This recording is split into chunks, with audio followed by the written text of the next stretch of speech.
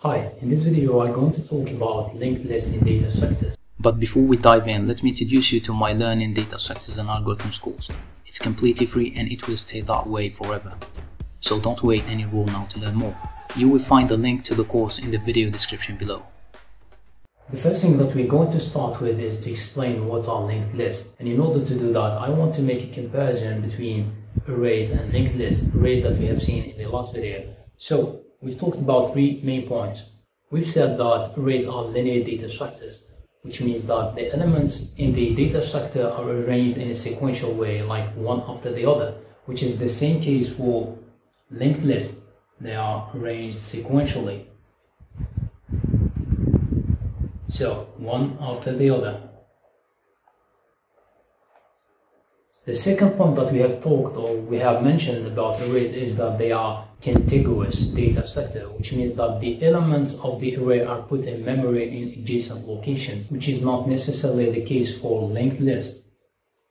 So in linked list, the elements are put in non-contiguous manner.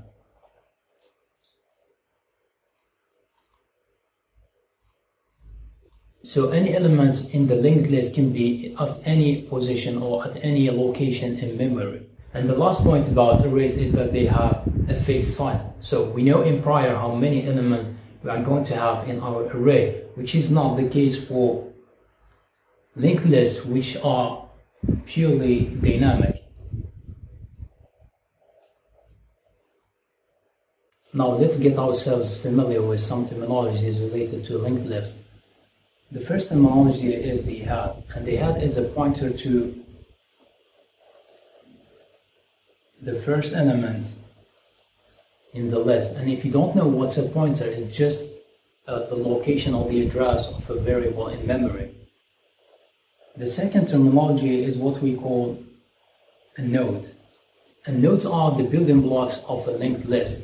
They are often composed of two elements, First, a value, and second, a pointer to the next element in the list. And finally, we have what we call a tail. And tail is a pointer to the last element in the list. So these are the main terminologies related to linked list. Now let's move on to represent our example in memory. So first, let's assume that the head points to the address 100. So, which means that our first element is going to be located at the address 100. So the value of the address 100 is going to hold the letter E and a pointer to the next element or the next node in the list. So let's assume that the next node is at, at the position 130 so the letter S is going to be here. So so our next element is pointing to the address 130 now in the same way let's put the third element or the third node on the address for example 190. So our third element is going to be of the address 190.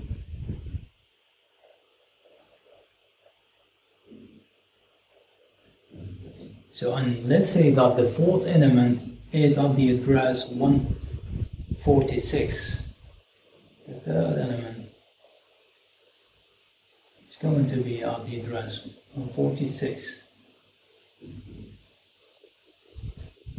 In this case, we will have H here. And A and the address 146 represents the tail in our case. So the tail points to the last element in our list.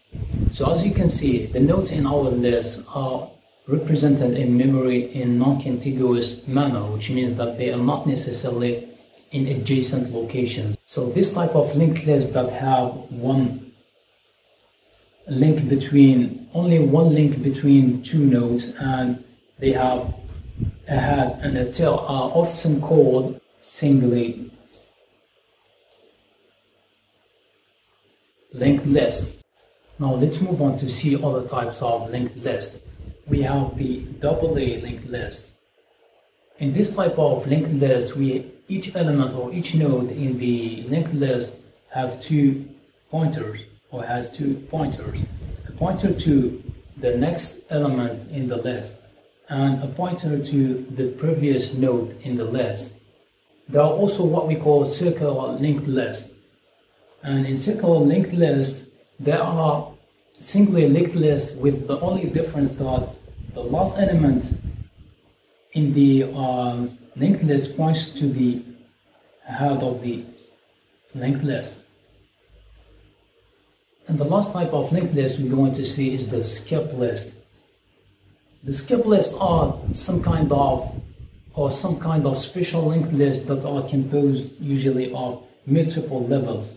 So in our example, we have one level, two levels.